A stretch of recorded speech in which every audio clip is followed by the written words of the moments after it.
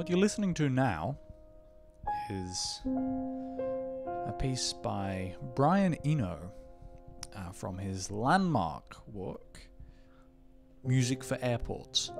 This piece specifically is called 1 slash 2, or actually, to be honest, I'm not exactly sure what Mr. Eno would have wanted us to call this. He just named it after the side of the record that it was on.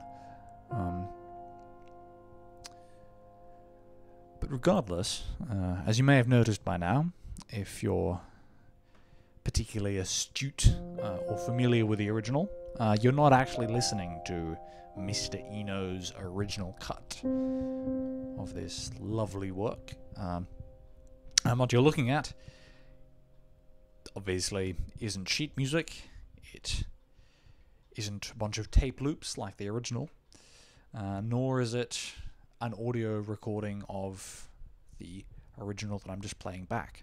Uh, what you're looking at right now, as you may have been able to discern, is actually just a bunch of code. Um, but I can assure you that this code is playing, or rather, it's generating. Uh, 1 slash 2 by Brian Eno. That lovely work for piano that you were just hearing.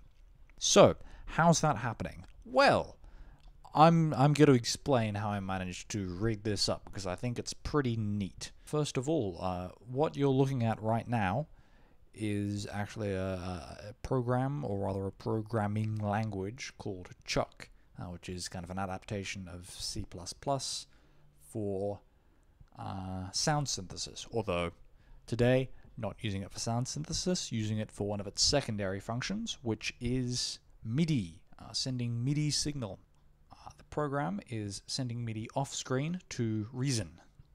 And as you can see, the project file is empty. There's no MIDI data in the project itself.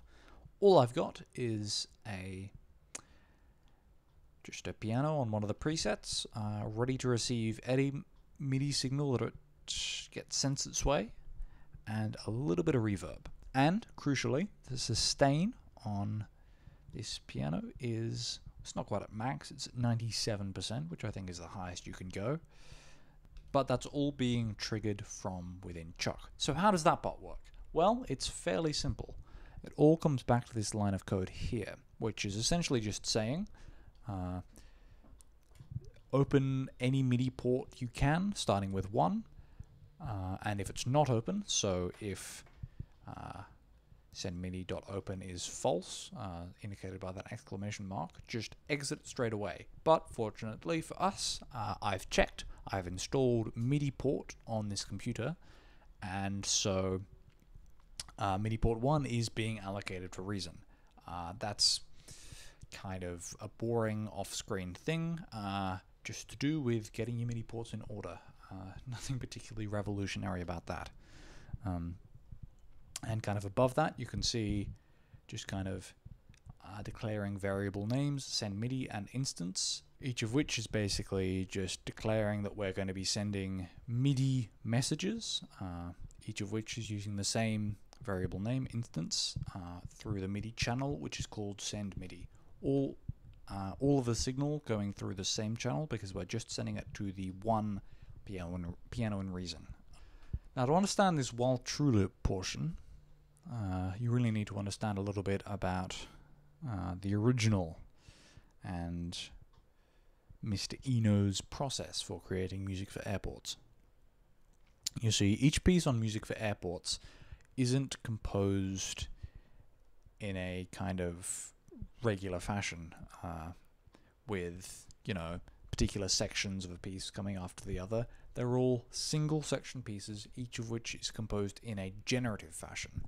And what this means, uh, or what this means specifically in the context of Music for Airports, uh, is that each piece on the album comprises a series of tape loops that uh, are kind of wound at not quite random, uh, but but at seemingly random uh, lengths, so that they do not sync up at all. So essentially, you have depending on the piece, somewhere around 8 or 10 tape loops, each of which has its own little pieces of music on it, which is spiraling around in a pattern that is so long, that would take so long to resolve, that it is essentially never going to resolve. It is essentially an infinite generative sequence.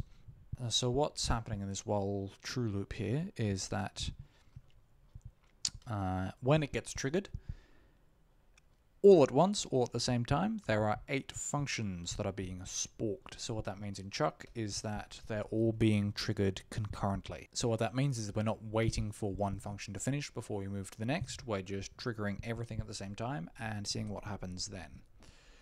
So when this while true loop is activated, um, and the while true loop here is kind of not really serving much of a purpose, it's just, you know, proving that we are going to have a truly infinite loop. Uh, it'll take five weeks before we trigger them again. What it's essentially doing is just saying, you know, make sure all these functions are called at the same time, and for the next five weeks, just let them do what they do. Um, and so, as mentioned before, each of the original tape loops in Eno's composition take what is essentially a random time to complete. So that is reflected in the way that each of these functions is written. Uh, taking loop 1 as an example, which is quite simple, uh, it's really just playing a signal note uh, 72, uh, which for those of you who know a little bit about MIDI uh, means that we're playing C5, so an octave above middle C, every, every 17 or so seconds.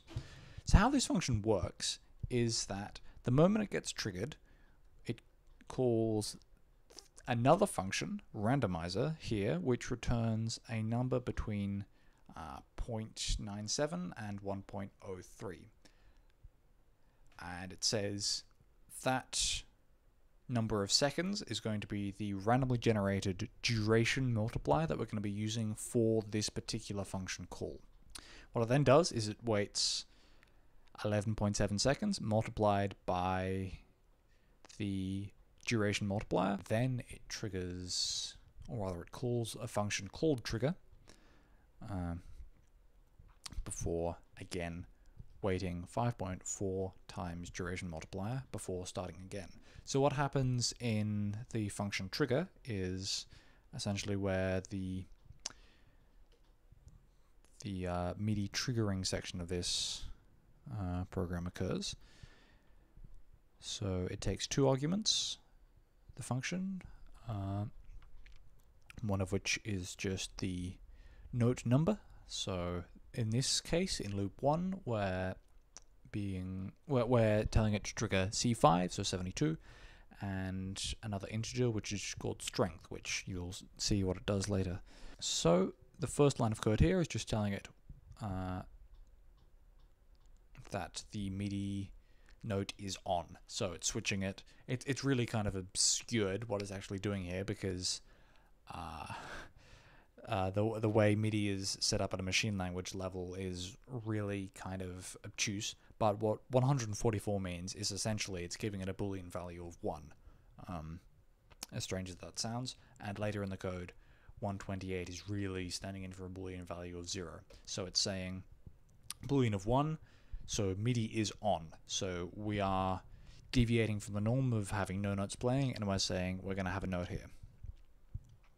Then what it does is for the second parameter of the MIDI data, which is which note we're referring to, it takes the first argument of the function call and sends that to data 2. So it says 72, we're going to be triggering a note with the identity of 72, so C5.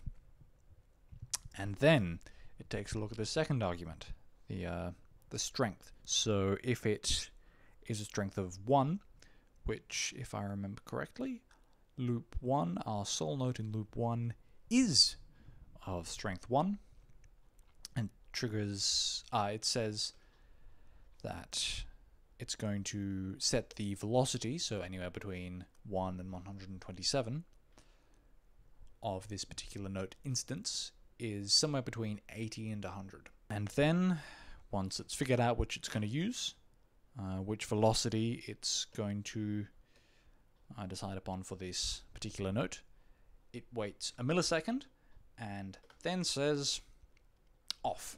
So back to that boolean value of zero. So you know immediately turning it off, um, and we can see just in those lines of code there, which is the same thing, just clarifying that we're going to send the message we've created. So we're creating a MIDI message with three parameters. So on, note value, velocity, and then we're sending it, and then we're saying, okay, change the the boolean value of whether the note is going to be on or off to make it off, and then send exactly the same message again. So terminating the same note a millisecond after it began. So this leads us to one of the wonderful things that Mr. Eno did for us in making this piece, uh, in the way that he made it rather easy uh, to write MIDI code for this piece. Because, unlike really the vast majority of works written for piano, on this little number, the sustain pedal is down for the entirety.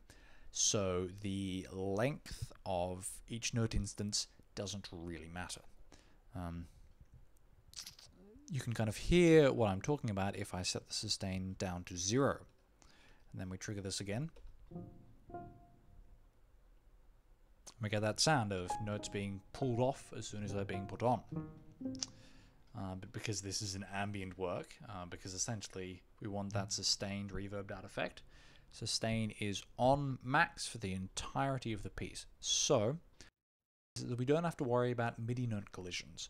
So it makes a lot more sense if we treat each MIDI note instance like a point in time rather than a stretch of time because that way we don't have to worry about within these series of loops any of any two instances of the same note being triggered at the same time unless they're being triggered within a millisecond of another which is frankly so unlikely we really don't need to worry about it. So really that's kind of the the basic principle behind how this piece works. That's kind of the coding aspects of this this piece taken care of, uh, which really is most of what there is to say. The rest is quite boring, uh, really, uh, because the loops are all freely available online, so there's no issues in figuring out how to, you know, what loops were being used by, you know, himself. Uh, I'll put a link to all of the loops where you can download them uh, just MP3 files, uh, none of this code, in the description. And I'll also link just a GitHub link to this code itself if you want to try it out. Um, do be wary of that um, that uh, third line of code there. Uh, if you don't have MIDI port installed, it won't work, and you also might need to be careful of which MIDI port you're sending to if you haven't specified it. I suppose there's nothing more to do other than to take us out another wonderful rendition of uh, procedurally procedurally generated uh, 1 slash 2 by Brian Eno as performed by ChucK in MIDI.